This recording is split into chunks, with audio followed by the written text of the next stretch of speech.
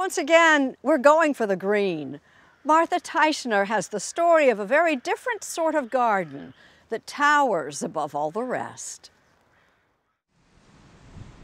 What is it glowing in the dark? Not an office building. An art installation?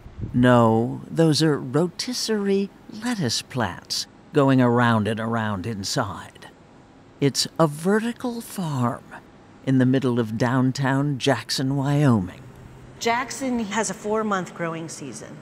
And so we really wanted to extend that. What we had was this plot of land, 30 feet wide by 150 feet long. That's not very big for a farm. Architect Nona Yehia is one of the founders of Vertical Harvest, which opened in 2016. So we decided, well, what if we go up? Could we make more food? This little tenth of an acre plot produces 100,000 pounds of produce a year. And not just lettuce. There's snow outside on the mountain, and we're still producing tomatoes for our community. And all kinds of microgreens. This is our edible flower program. This is kind of a little bit of our Willy Wonka part of the tour, where you never know what you're going to get. Mmm, those are really good. Peppery, right? Ooh, I like those. Vertical farming is possible because LED lighting has gotten cheaper and more efficient.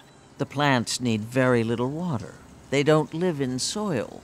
They're fed solutions of nutrients, but practically no pesticides.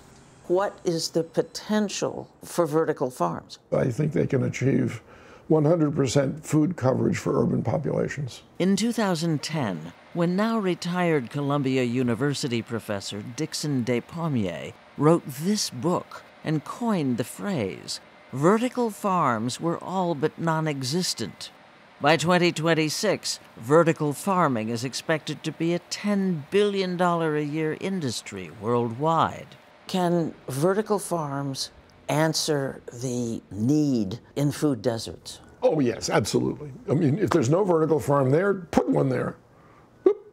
Vertical Harvest has just broken ground on a much larger facility near Portland, Maine, the first of 10 in the planning stages for cities around the country. We're never going to replace traditional agriculture, but we sure can innovate to supplement it. And then back to the idea of what local means. From farm to fork, we deliver our product within 24 hours. So, instead of being trucked a thousand miles or so from Mexico or California, in Jackson, Wyoming, produce takes a two mile van ride to Whole Foods, where it gets pride of place. Vertical Harvest has also redefined Jackson's notion of who can be a farmer. 19 of its 43 employees have mental or physical disabilities. I found my dream job. Meet Tim McLaurin, here with his proud dad. We are champions here at the greenhouse. Tim's dad has watched his son thrive at Vertical Harvest. Why was it important for you to have this job? It was so that I could actually feel appreciated. Amanda McFarland suffered a brain injury. Vertical Harvest is like a family. Here, at a new kind of family farm, feeding a community.